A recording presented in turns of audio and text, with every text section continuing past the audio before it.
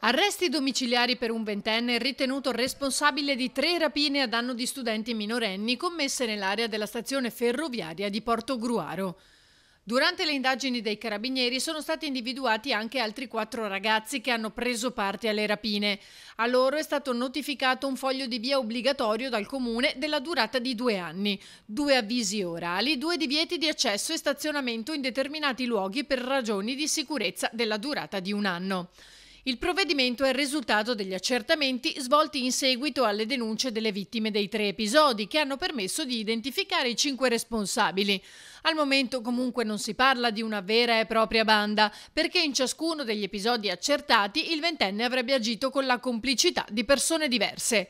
La Questura di Venezia, motivando la firma delle misure preventive, ha spiegato che i destinatari avrebbero messo in atto furti, soprusi e angherie a danno di altri giovani.